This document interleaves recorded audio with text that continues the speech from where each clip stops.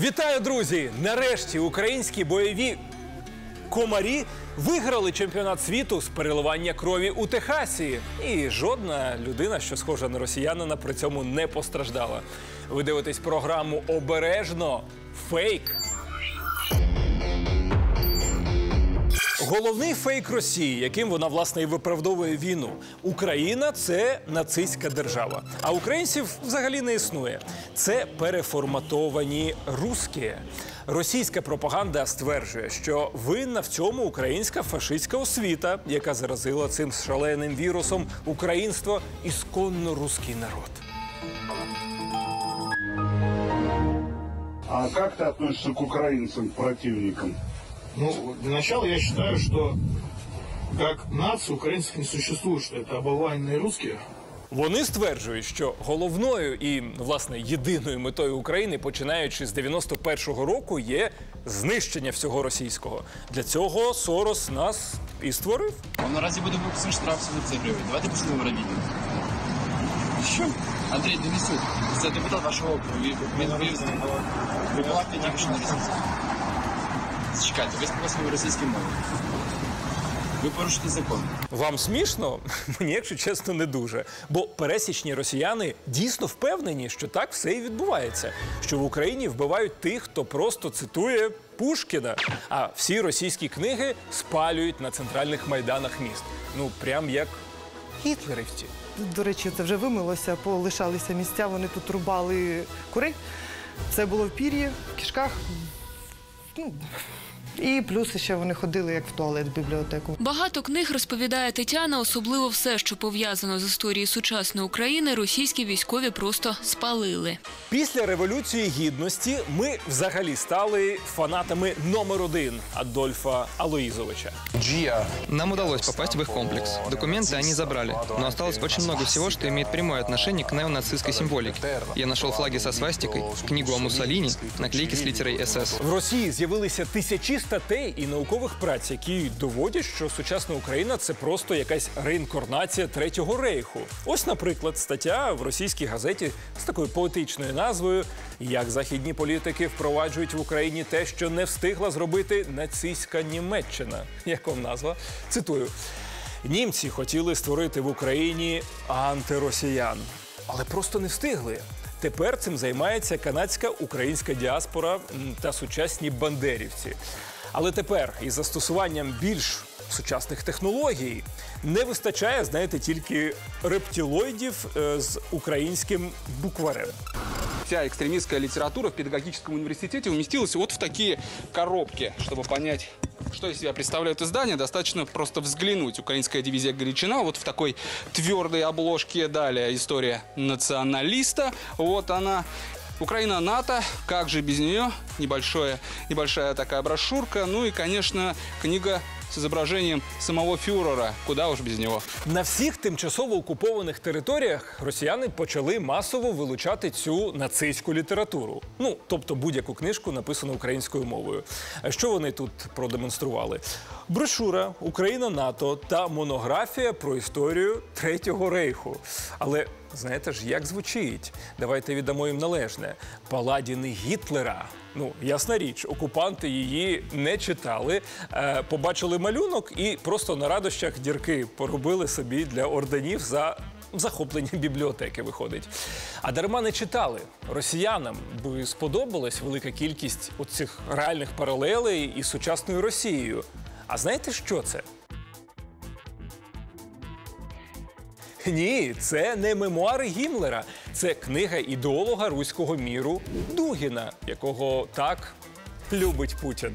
Це ще один улюблений засіб пропаганди. Просто зображати українську науку та освіту в якомусь кумедному та абсолютно безглуздому вигляді. Кожен росіянин на кухні під чарочку глоду хіхікає, адже українці викопали Чорне море, і Ісус був напевно, з Галичини. Сиволапі впевнені, що в нас це дійсно викладають в школі як офіційну історію. Насправді, фейк про те, що Чорне море викопали древні укри, вперше з'явився барабанний дріб в гумористичному шоу, яке називається Українці офігенні, яке виходило в 2008 році. А це мій улюбленець. Ось він, представник Росії в ООН. Я, до речі, не знаю, що він там досі робить, адже просто на весь світ обурюється українським підручником географії. Я даже захватил с собой учебник географии для восьмого класса под редакцией Масляка и Капирулина.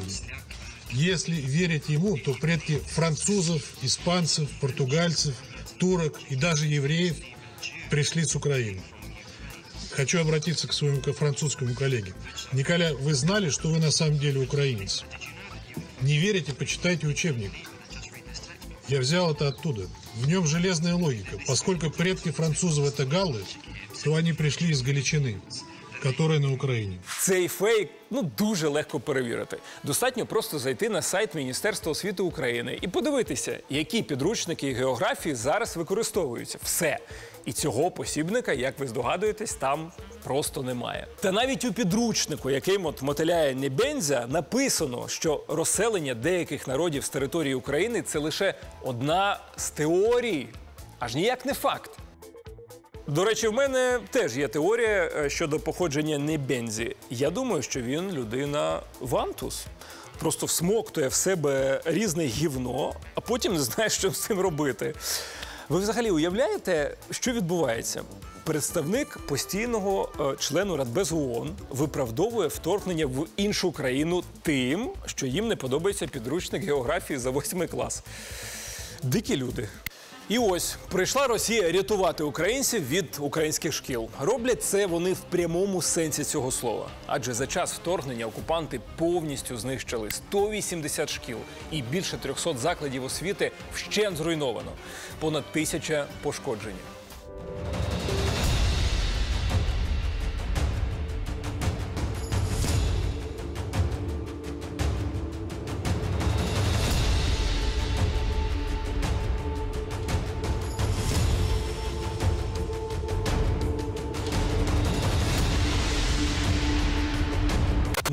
На тимчасово окупованих територіях росіяни взялися наводити новий освітній порядок. Вилучається абсолютно вся українська література. А вчителів, які відмовляються переходити на російські окупаційні програми, просто репресують, а дітей силоміць заганяють в російські школи. Ось, наприклад, в Маріуполі окупанти погрожують штрафувати місцевих на 40 тисяч рублів, якщо їхня дитина не піде 1 вересня до школи. А в Херсонській області штрафи до 150 тисяч рублів і конфіскація майна.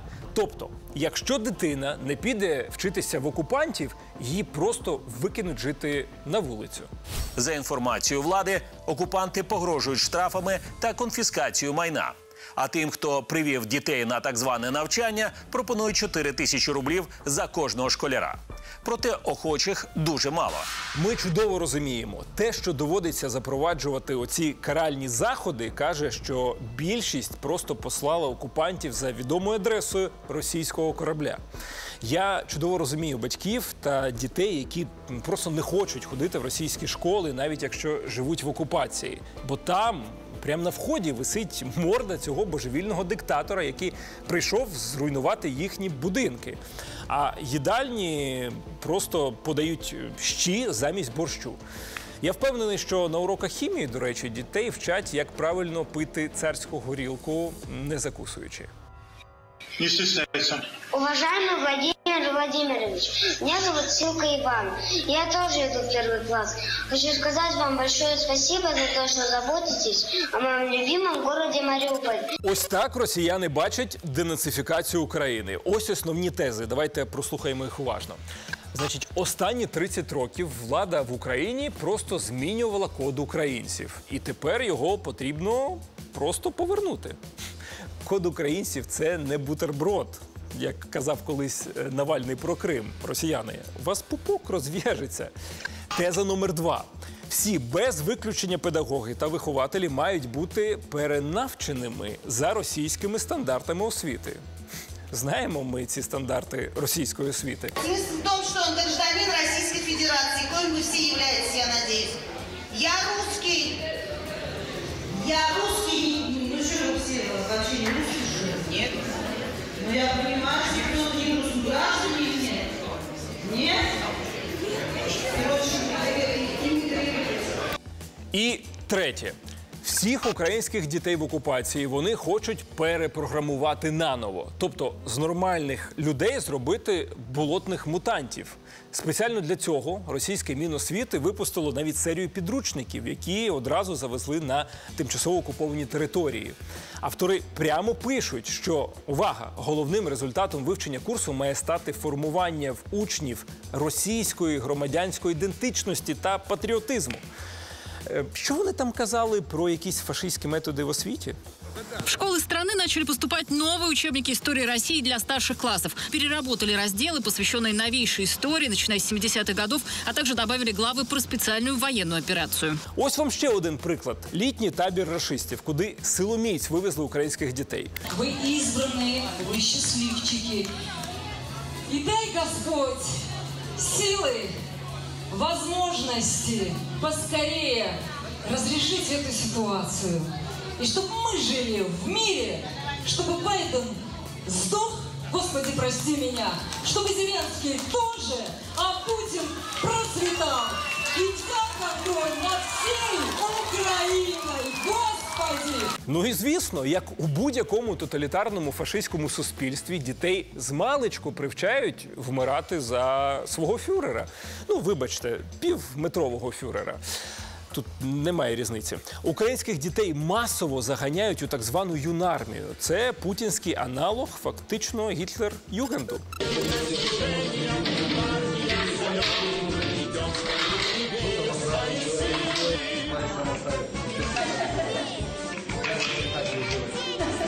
Звичайний день у звичайному російському дитячому садочку. А ось же наших дітей переодягли в юнармійців. Воспитанники военно-патриотического движения «Молодая гвардия Юнармия» открыли памятные муралы в центре Донецка и Мариуполя. Тобто українських дітей вчать вбивати українців. Ну, ось така просто збочена російська освіта. Хочу нагадати всім е, російським педагогам та вихователям: залучення дітей до парамілітарних структур увага, це порушення Женевської конвенції, яка забороняє вербувати в армію цивільне населення окупованих територій. Путіну пофіг, це зрозуміло. Він застрелиться в бункері або просто отруїться просроченим растигаєм. А ось вас будуть судити, і можливо, ви всі до кінця життя залишитесь жити в Нідерландах. Але через такі маленькі грати не зможете насолодитися навіть краєвидом. Мы, дядьки, там, крутые, а, хорошие, добрые. да. У нас хорошо. У нас лучшие перспективы, у нас лучшее обеспечение, поэтому поэтому мы э, ждем вас. Я бывший зэк, м, отмотал полсрока, да, решил искупить свою вину, защищая нашу с вами родину, да. Меня приняли, вас тоже примут. Окупанти відверто декларують свої людожерські плани і перепрограмувати українських дітей хочуть. Для цього викладають в школі ненависть до всього українського, вилучають літературу, розформатовують музеї. В них є власний аналог Гітлер-Югенд. Про що це говорить?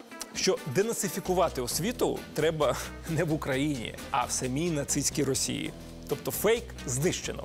За шкалою гойдаметру я даю йому 8 з 10 гойд. За масштабність і за косплей Третього рейху. Це дійсно оригінально. А щоб ви, друзі, трохи відпочили, ловіть найскаженіший фейк тижня. І це перший фейк, проти якого особисто я не маю нічого проти. Китайський державний картографічний сайт видав нові офіційні мапи КНР. Свіженькі за 23-й рік. І на них частина території Росії вже приєднана до Китаю. Краса. Я б навіть сказав. Картина рисом. Хоча, може, це і не фейк. е, Хто його зна, А що там китайці спланували. Коротше, працюйте, браття. Це міцні 10 з 10 гойд. Ну що ж, йдемо далі. Гурмо розсекретив нову кремлівську інформаційну стратегію. Окремий пункт на окупованих територіях прекрасне життя. Українці, здавайтеся та співпрацюйте з окупантами. Навіщо воювати, якщо в Росії все так добре? Давайте розберемо детально цей примітивний, як інтелект бобра, фейк.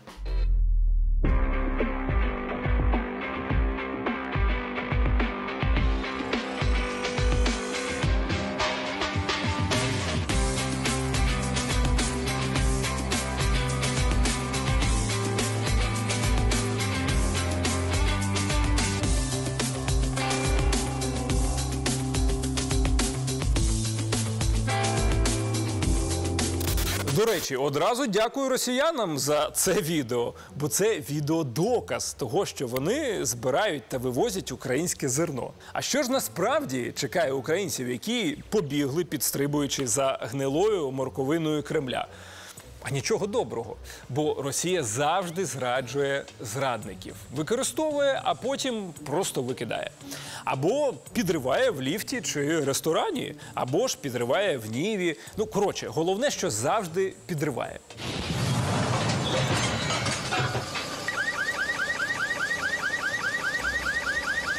Вибачте, не стримався, аби не нагадати вам ці приємні кадри. Із початком агресії у 2014 році та з повномасштабним вторгненням активізувалися ждуни та новороси на будь-який смак.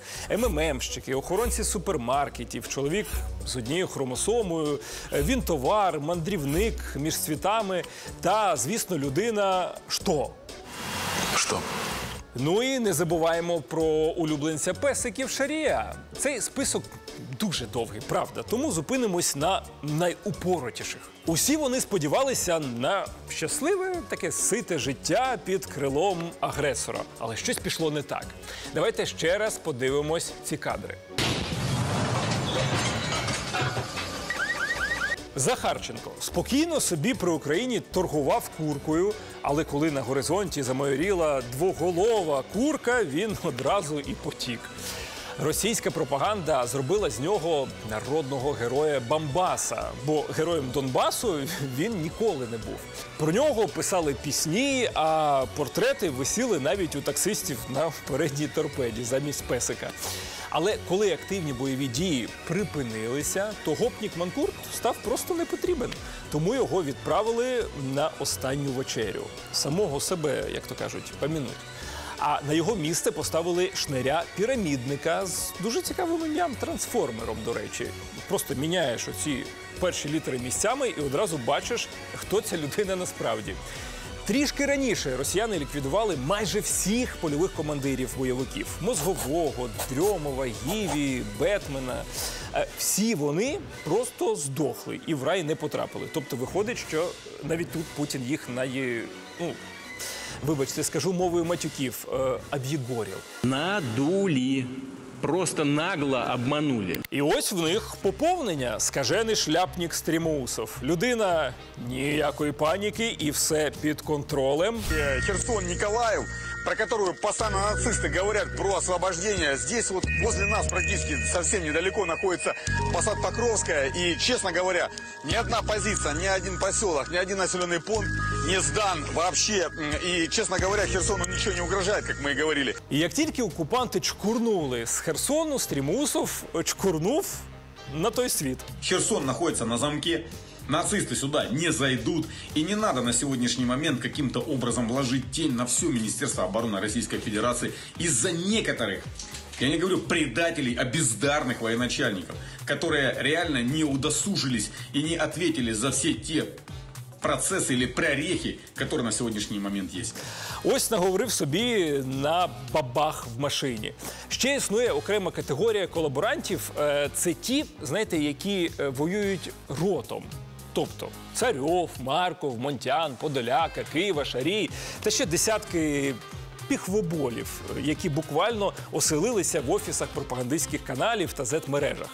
Усі вони в перші тижні радісно вітали вторгнення матушки Росії. Так я и вижу кастрюль, которые реально партизанят против настоящей российской армии. Не смеши мои тапочки. Стоит Путину заявить, все, я забираю Украину, точно так же, как он заявил, что я забираю Крым. Никто не рыпнется даже. Владимир Владимирович, много лет работаю под вашим руководством, всегда хотела вам сказать, мне кажется, сейчас самый подходящий момент сказать то, что я всегда хотела. Спасибо вам за то, что вы мочите людоедов. Але потім друга армія світу раптом почала утримувати в Україні удари, скажімо так, несумісні з життям сотень тисяч її вояків. І колаборанти зажурилися і розчарувалися у могутності двоголової імперії. Вони почали активно навіть критикувати військових за невдачі на фронті і більше того, натякати на бездарність самого Парашоликого. Те, кто смеется над контрнаступлением, ребята, приезжайте в Донецк, вам будет не смешно. Потому что после многочисленных мясных штурмов пехоты-то толком и не осталось. Со связью те же самые проблемы. Сколько бы Министерство обороны в лице Коношенкова не рассказывало нам о том, что там все хорошо. А, Вопреки тому, что нам заявляет Министерство обороны о том, что Антоновский остров очищен от противника, причем, насколько я помню, господин Коношенков уже сообщил об этом в стране три раза, он ни разу не был зачищен. Более того, он до сих пор в том плацдарме, который нарисован на моей карте, находится под контролем противника. Все идет ну, не совсем по плану. Цели спецоперации в полном объеме прямо сейчас вряд ли смогут быть э, э, достигнуты. Киев объективно выигрывает. И вся болтовня про 20% территории, отжатые территории, можем повторить, оказалась просто болтовней. Что ты? За Украину там. Конечно, я за Украину. А за що мені? Я, я українець. Вони ж думали, що їхня думка насправді важлива, і що вони мають право голосу в своїй якійсь країні нацистських мрій. Ага, щас. Всіх цих е, чундур одразу оголосили зрадниками та шпигунами, які співпрацюють з СБУ. К Нам активно идут э, люди, которые м, совсем недавно плясали на Майдане, прославляли ВСУ, м, поддерживали запрещенный в России Азов. А сегодня они неожиданно оказались э, не просто патриотами нашей страны, но еще и указывающими нам, каким образом нужно быть патриотом. При этом э, свои родимые пятна никуда не спрячешь, от них не избавишься. Непонятно, что делающая гражданка здесь, оскорблявшая нашего президента. Я тебя найду, сволочь лживая, и засужу. Ты у меня в тюрьме, в тюрьме сгниешь за твою ложь.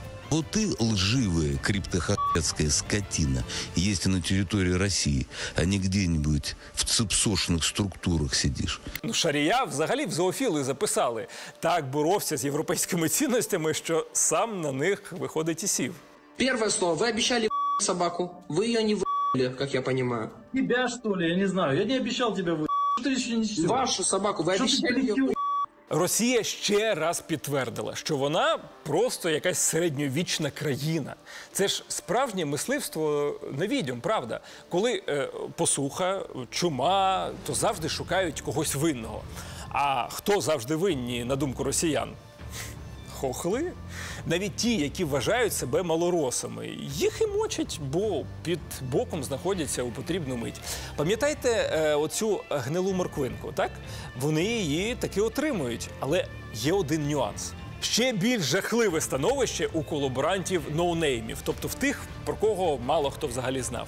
А, і тих, хто сказився від російської пропаганди і щиро чекав Росію як вирішення всіх своїх проблем. Високі зарплати, скасування боргів по мікрокредитам, е, належність до якогось великого хокею е, та ядерної кнопки.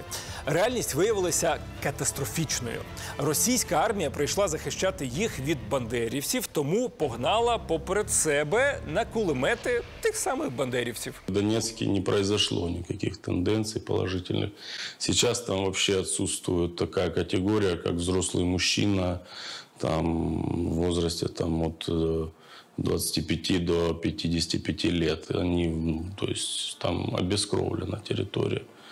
Ті, хто добровільно пішов працювати на адміністрацію окупантів, теж отримали свою винагороду. Відступаючи, російська армія їх просто кидала на призволяще.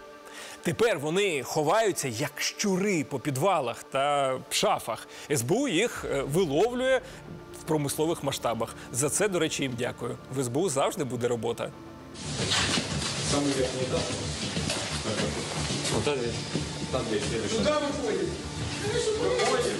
Куда пошел? Выходи. Выходи сюда. Ладно, выходим. Ну что? Там женщина. Тут бабушка. Все, все, Ой, все, Господи, все. Выходи сюда. Кто еще из мужчин? Сюда выходи. Есть. А мужчина. Ось таке воно щасливе життя колаборантів на окупованих територіях.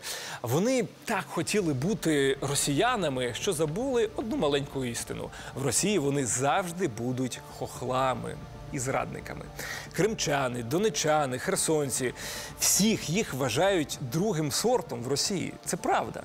Е, Це вони в Україні були ісконно е, русскими, ще не колаборантами, якимись чиновниками, поліцією, хто зна ким. А в матушці Росії вони ж такі самі, як і чеченці, яких називають, ну ви самі знаєте, якими жопами, і буряти, яких називають так само, якими глазами.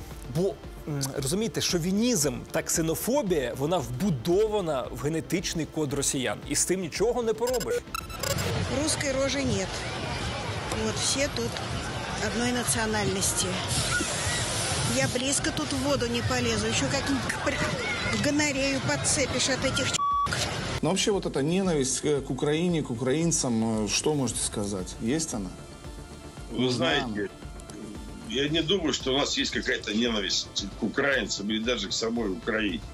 Ведь дело-то вообще не в Тож цьому фейку я ставлю 10 із 10 гойд, бо завдяки саме цьому фейку зрадники отримують те, на що справді заслуговують.